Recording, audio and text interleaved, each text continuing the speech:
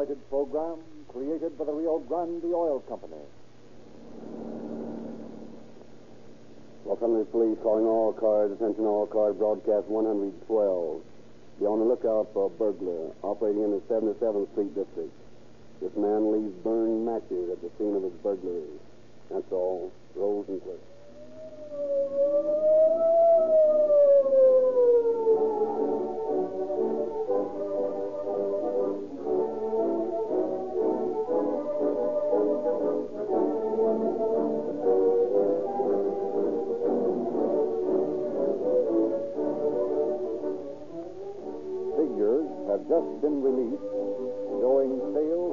Gasoline in the Pacific Coast marketing area, including California and Arizona. One company leads all the rest the Rio Grande Oil Company, with the largest percentage of increase in sales of any gasoline. Thanks to you who have taken our recommendation to use Rio Grande cracked gasoline, Rio Grande has just finished its most successful year. Sales of cracked gasoline have steadily increased, faster than any other gasoline. And on cracked gasoline alone, Rio Grande sales have increased 140%. One of the most amazing gains in gasoline history. This record is all the more remarkable when you realize that Rio Grande does not operate its own chain station. Rio Grande sales have increased because you motorists who want police car performance in your cars have purchased cracked gasoline from the independent dealer in your neighborhood. You have discovered that the exclusive patented cracking process makes Rio Grande cracked a livelier, faster, and more economical gasoline. And your repeat purchases have made Rio Grande the fastest growing oil company in the West.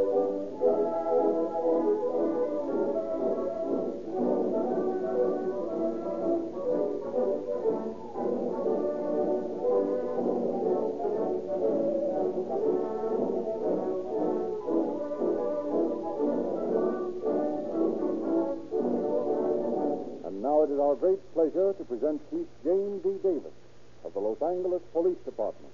Chief Davis. Good evening, friends. Your policeman is always on the spot. If he fails to do his duty as you think he should, you criticize him. On the other hand, if he does his duty as he is expected to, another part of the public will criticize him. In the story you're about to hear, a police officer actually placed himself at a disadvantage rather than be criticized for using undue force on a suspect.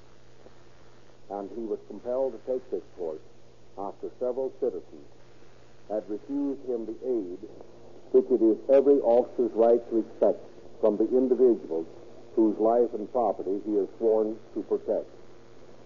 In cases of emergency, every conscientious citizen should stand ready to help the police rather than merely stand by and gape.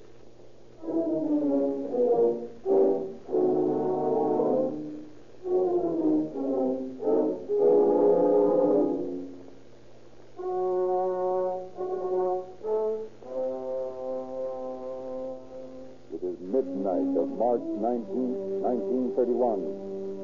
Detective Emmett Jones, his late watchover, is driving home. At the corner of Figueroa and 65th Street, he waits for a red light. As the signal changes, a man steps out from the shadows and onto the running board of Jones' car. The detective turns, looks into the business end of a revolver 38. Just a minute, buddy. Well, what do you want? Hand over your coat. Well, I- I've only got $13 on me. Well, let's have it. All right, just a minute. Let me get out of the car. Now, you just stay where you are, buddy. And don't get nervous. Now, let's have that money. Here you are. Now, I'll just go through your other pockets. What's in this thing, your watch? Yes. I'll just take that, too. Oh, you won't.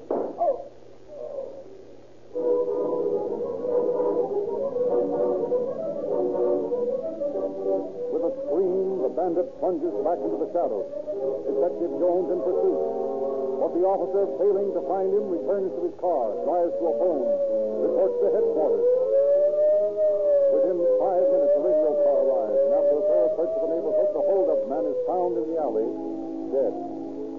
Next morning, Detective Jones explains the situation to his superior. He had his gun there on me all the time, see? When he started to shake me down and got hold of the watch chain, I knew if he pulled it out and saw my badge on one end of it, well, he'd let me have it. I took a long chance and shoved his gun away as I drew mine from my shoulder holster. It was either me or him. You're quite right, Jones. You did the only thing you could do under the circumstances. Yes, sir. As a matter of fact, he was wanted. You've got that i- identification on him? Yes, I have. His name's Nelson. Wanted for holdup. Got a record that started with reform school when he was 15 years old. He done two stretches in Folsom by the time he was 25. Kind of funny with an old hand. Read about the thing in such a businesslike way. I wouldn't be the least bit surprised if you had inadvertently caught the match burglar. The match burglar? Me and on me, who's he? Well, we've been having a devil of a time with him out in the 77th Street Division. He burglarizes homes during the evening when people are apt to be out to the movies. He never uses a flashlight. He uses these big kitchen matches instead. Leaves a whole pile of burned ones after every job. Well, if he's the guy I shot, I'd feel better about it. Well, you don't have to have any pangs of conscience. He was a bad one anyway. Sure, Captain, but you know how it is. You don't kill a man every day, and it makes you feel funny. Well, make you feel any better. I had a talk with the guy's mother this morning. A nice old lady, respectable and law-abiding. She admitted to me that perhaps it was a good thing her son was dead, because he'd never given her a moment's peace of mind.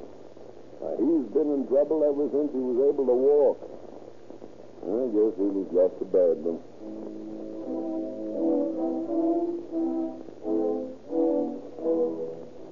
But the captain hopes that Nelson, the hold-up man with the match burglar, is a vain one. For the mysterious match burglar continues his depredations in the 77th Street Division. As night after night, and as many as a half a dozen homes are burglarized and the lost property mounts in value to thousands and thousands of dollars, the citizens of the neighborhood clamor for immediate action. Captain Wallace, in charge of detectives at 77th Street, has Detective Jones and his partner, Detective D.R. Patton, transferred from Central to his command. On a day in April, the two men report for duty in the captain's office. Boys, I'm short-handed out here, and I'd ask to have you transferred to one particular job. What's that, Skipper? A match burglar. We thought, Jones, that we had him when you had your run-in with that bird Nelson. But we were wrong. This monkey's pulled 20 jobs since then. Oh, how's he work, Cap? Well, we know mighty little about him, except that he burns matches instead of using flashlights. What's he steal? Hmm. Anything from chains out of a kid's bank to sterling silver. He's not particular. He takes anything he gets his hands on. Uh, you got any idea who he is? No, Patton, I haven't. I never to leave prints. The only distinguishing identification we have on him are these confounded matches he lit us a place up with. Sounds like a tough nut to crack. It is, And I'm counting on you two to do the job. I hear the burglary report in more than 50 jobs. Look them over, boys, and see if you can get anything out of them. And you better work the four to midnight dip. This bird pulls most of his tricks between seven and nine. Okay, sir. We'll go to work on him right away.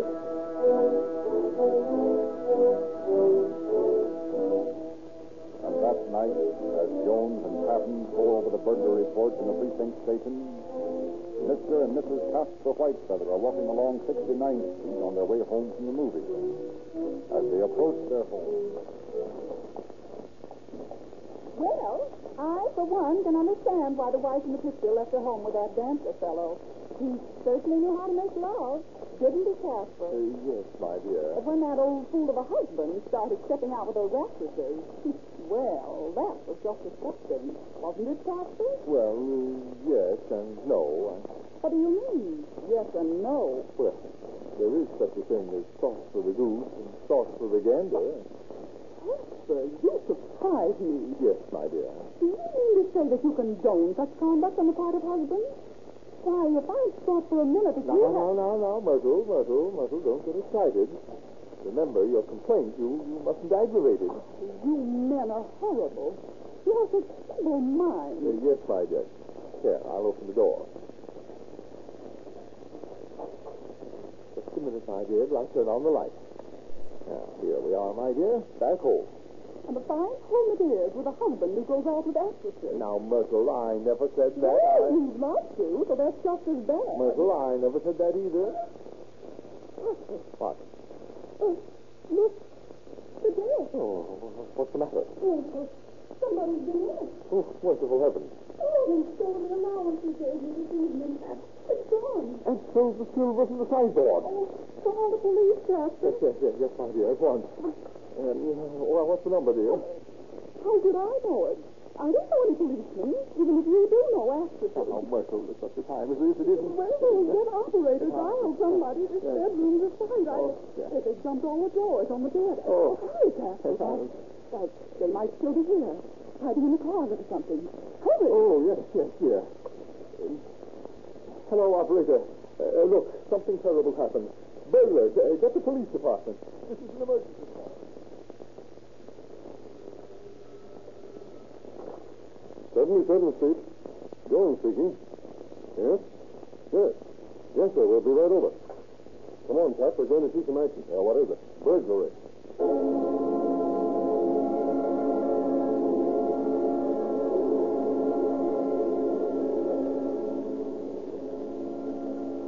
Five minutes, the two detectives pulled their police car to a screeching stop in front of a Whitefeather residence and entered the house.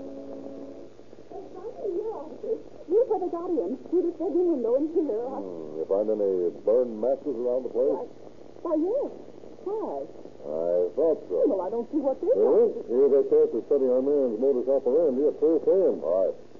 Now, tell me, ma'am, have you disturbed anything? Oh, heavens, no. It was just the way we found it when we came in. I, why, I'm afraid the burglars are still in the house somewhere. You know, Little they danger might- that. Little danger of that. Well, maybe they're lurking in the backyard. Oh, I wish you'd make sure. No, okay, ma'am, if it'll make you feel any better. Hey, take a look out back, will you? Yeah, sure. Now, let's go out this window the same way our friend came in. Oh, does it have a screen on this window, ma'am? Why, of course. Uh, merciful days. You don't suppose he stole that, too? No, I don't think so. Reckon I'll find it around back here somewhere. Oh, Jones. Yes? Here's how he forced open the window. Looks like a half-inch jimmy. That's what he used, all right. Well, you'd better get a look out back while I check the extent of the damage in here. Okay. Well, ma'am, can you make a list of the missing articles? Well, I don't know. It's going to take some time to check up on things, and, well, I'm so upset and everything. I just... What's all the fuss? What's the police car doing outside the house? We've been robbed, Henry. Robbed? Hey, you have at that. hey, that fellow didn't fool, did he? this room looks like a Kansas cyclone to me. No laughing matter, Henry Watson. If you come... No, no, no, my dear. Don't get yourself upset. Oh, no, I'm sure it isn't any laughing matter. Only you've got to admit that this place looks sort of funny. I don't see anything funny about it. You know, uh, oh, well, Casper, I was just on my way back to the movies, and I wondered what was the matter. That was all. Well, I got to come out, you know. The missus is waiting outside for me. Come on. Who's that man? Our next door neighbor. Well, I found your screen, ma'am. Where? Out at the back of the lot. Well, my... Probably carried it back there to get a look up and down the alley to see if he was safe. Yeah, I guess so. Well, you got him any place in here? Well, apparently the bed dumped all the drawers on the bed, then takes what he likes. Mrs. Whitefeather can't tell how much has been taken yet. Oh, I suppose you could give us the list by morning, ma'am. My... Yes, I'll try to. In the meantime, we better get the fingerprint man out here. Although I can't find any traces of prints. Can you, Jones? Not a one. It certainly looks like a professional job. Oh, just look at those burned matches on my clean floor. If I don't pick them up, they'll be ground into the carpet. There. Oh, what is it, ma'am? Right here, under the bed. Mr. Whitefeather's gun. His gun under the bed? Oh, I get it. Ah, our burglar is an ex-convict. How do you know? Simple. He keeps the gun in one of the drawers, I suppose. Why, yes. In the top drawer in the dresser. So our friend finds it when he empties the drawer and immediately throws it under the bed out of reach. What? But why? Now, I should imagine he'd want to use it, maybe. You know. No, no, he was smart. He'd been caught armed while on the commission of a felony. He'd have five more years automatically tacked onto his sentence. Oh, uh, officer, I was just talking to the man who lives across the street, and he told me that about half an hour ago someone rang his bell. And when he answered the door, he saw a man walking away from the house in a big hurry. Oh, so that's his gag, huh? He rings the bell first to be sure there's no one at home. If he gets an answer, he scrams. And if he doesn't, he crashes in. Well, simple enough, isn't it? Yeah, simple enough, all right. But it isn't going to be simple to catch this guy. Why, what's the matter? Well, so far as I can see, he just doesn't leave any clues. No fingerprints, nothing but these confounded matches. Oh, Captain. Captain, Henry, what is it? I want to see those officers. Uh, right here. Come in. So hold it. Oh, thank heaven you haven't left yet. Why, what's the matter? Well, when you get in here, I want you to come over to my house. Why? I've been robbed, too.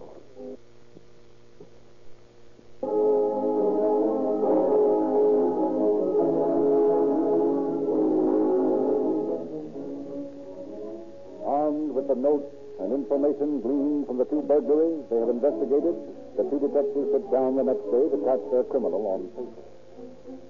Well, Pat, it looks to me as though this bird works uh, in a neighborhood where you can find three or four houses in a group at a corner. Where there is an alley running behind him so he can make his getaway. Ah, that's right. Now we know that he's an old hand at the racket and probably an ex-con by the way he handled that gun. And the fact that he left no fingerprints. Oh, we know that he uses matches instead of a flashlight. That's about all we do know. I'm not so sure about that. These uh, robbery reports tell a lot. Oh, what? Well, they boil down to this. Our matchmaker operates in the territory between Main and Avalon and from 95th Street to 65th Street. He seems to start from the southern end of this area and works in a northeasterly direction. Yeah. Most of these jobs are pulled between 7.30 and 9 o'clock in the evening while people are out to the movies. Right. And look at these reports. That guy sure knocks them over fast. Yeah. Look at this one last Tuesday. Five jobs in an hour between Main and 89th and Avalon and 67. Hmm. Well, he's a smart hombre, all right. Yeah. But I've got a plan, and I think we'll stop him. Now, look. Here's a map of the district. And this circle I'm drawing roughly encloses the territory where our match burglar works. Yeah? We'll locate ourselves in a private house somewhere in the center of this territory. We'll have the radio cars notify as many people as they can to call in here as soon as they discover their houses have been burglarized. Then we'll have Pep Wallace relay the call to the house where we'll be waiting. As soon as we learn the location of the first job, we'll be able to guess approximately the location of the next house he'll take. Well, sounds reasonable. We'll give the boys in the cars a couple of days to put all the residents wise, and then you and I get into old clothes and go to work. Oh, whose house will we take out in? Leave that to Captain Wallace. He knows everybody out in this neck of the woods. He'll find us a spot.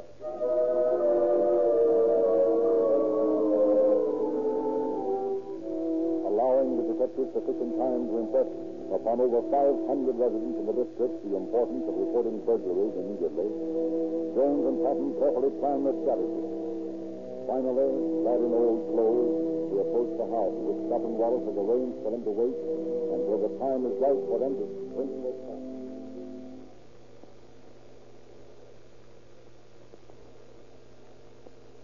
Well, that's the fifth time I've rung this bell. You sure this is the right place? This is the address the skipper gave me. Sounds like they're coming now. Somebody just peered through those curtains at us.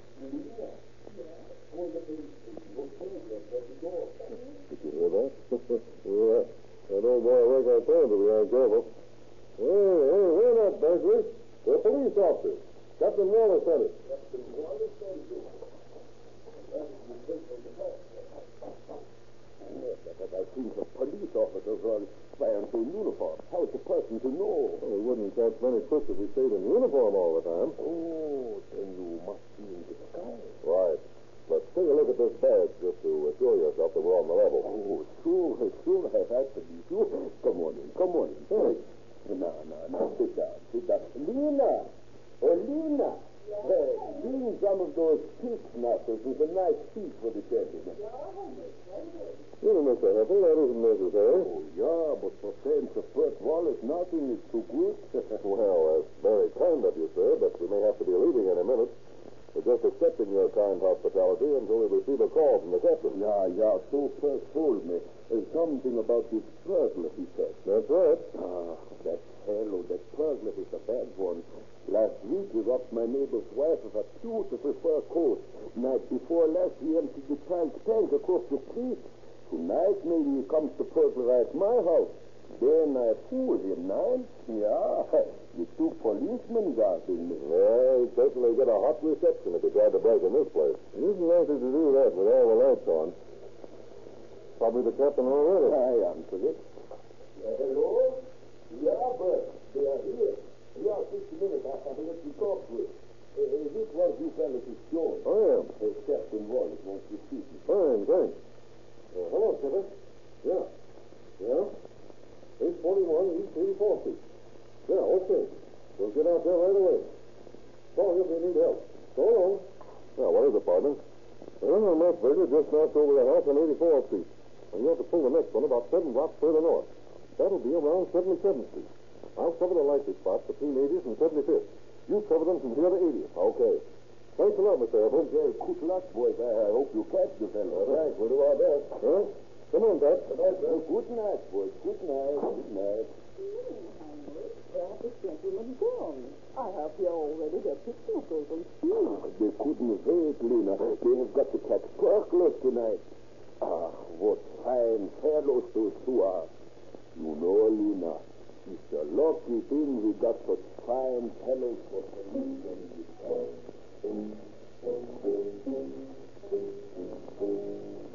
Separating, the two detectives set out to cover the areas agreed upon. Detective Jones, proceeding on foot, comes upon a likely spot for a burglary on 76th Street where an alley runs behind four or five dark houses. He waits in the black shadows of the alley five minutes, ten minutes, fifteen minutes. He's about to give up his vigil as worthless when he sees a smaller shadow emerge from the huge dim bulk of the house. Steps cautiously into the alley. Jones rushes the cat treading trespasser, but the man sees him and dashes between two houses and across the street. Taking up the chase once more, he runs into his quarry and meshed in a web of tangled clothesline in the backyard. All right, guys. Come on, quiet down now. What is this? Why are you chasing me? Well, I'm a police officer. What were you doing behind that house? Oh, I, I worked there when Jonas was there. Oh, yeah? Well, I'll just take you down and see what you've got on you. Hmm, no gun. Oh, no, I have no gun. Well, what's this? Your pants pocket with... Oh, pennies, dimes, and nickels. What have you been doing, robbing the kid's house? Well, not exactly a thief. Oh, and the other pants pocket. That's the kitchen napkin. Uh, you better come along with me. Well, I do not understand. I have done Oh, come on, come on. Quit the stalling. We'll just go into this house here and call the police car. Come along. Oh, but Mr. Policeman, I am poor janitor. What do you arrest me for? Oh, for about 50 or 60 burglaries. No, no, no, it's not so. All right, all right. Pipe down till I get some assistance from the people in this house.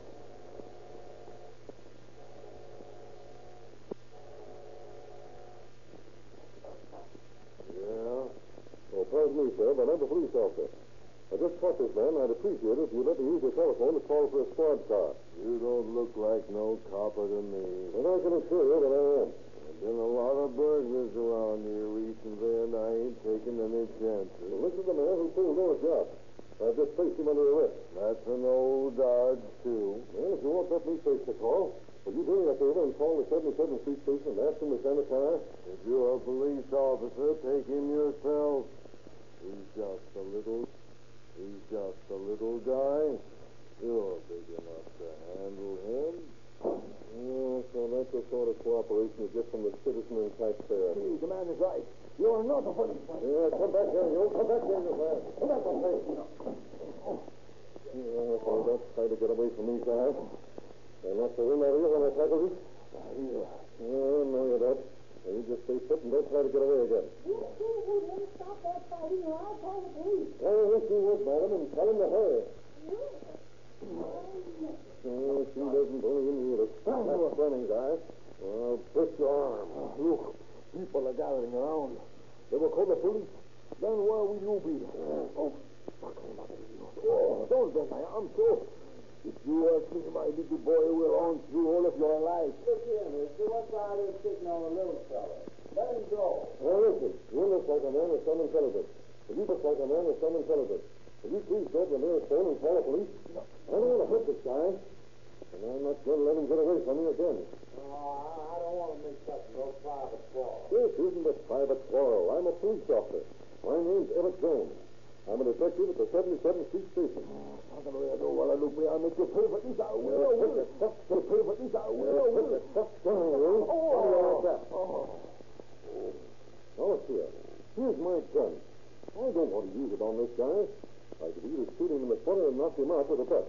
But I don't want to take him that way. I don't want to hurt him. See? Here. I'll shoot it across the pavement to you. Now, you call the police car and keep the gun until they come. Till they come. Well, looks like a police car. It is. It is. you must be all right. You wouldn't give me your gun to hold. I'm not kidding you. I'm everything I say I am. And I'm going to sit on this guy with this arm lock on him until somebody comes along and gives me assistance. Well, okay, mister, you got me convinced. You won't have long to wait. I'll go and call the radio car right away.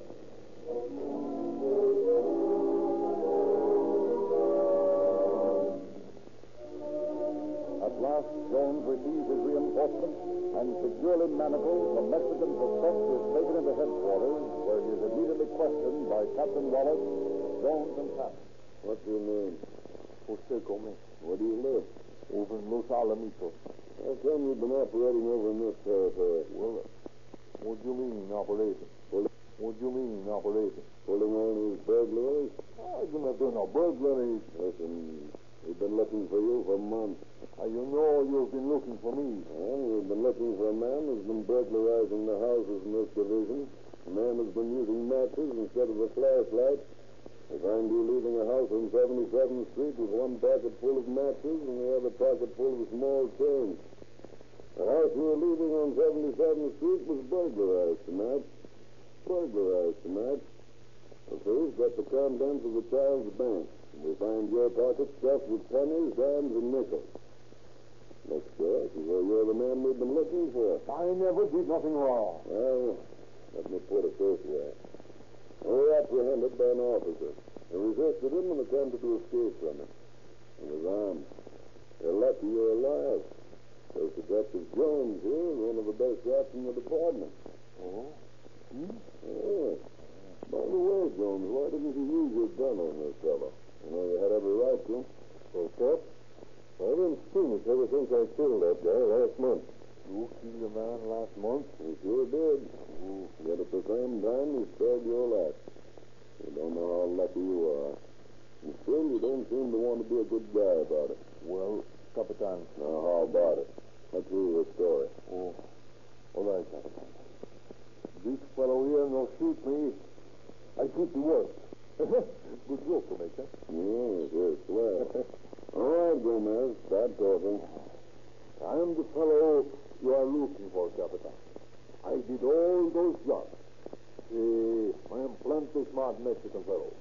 I make lots of dinero robbing houses. I tell you all the places that I can.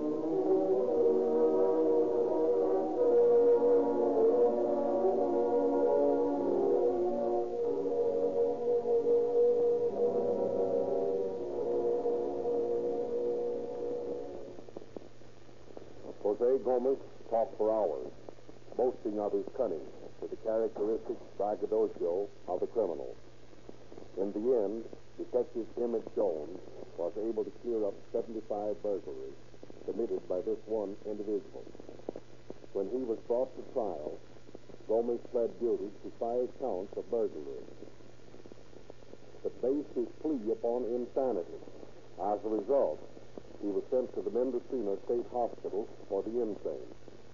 This story might have had an unhappy ending had Jones not been able to handle the suspect after he had overpowered him. And if this had occurred, the blame would have been squarely with those citizens who refused to give him aid.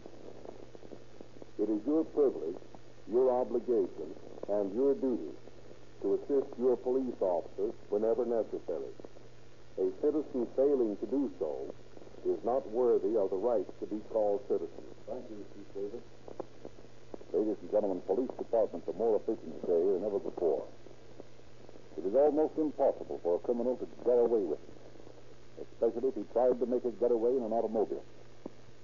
More police cars are powered with Rio Grande cracked gasoline than any other brand, and these police cars have the greatest speed and power in history. Cities like Oakland, Los Angeles, Berkeley, and many other cities and counties are specifying Rio Grande cracked gasoline for all their emergency equipment. For fire engines, ambulances, motorcycles, as well as police cars. Official tests have proved beyond question that the patented Rio Grande cracking process produces the most powerful, the liveliest, and the most efficient gasoline on this market. Your neighborhood independent dealer sells you the same Rio Grande cracked gasoline these police emergency cars use.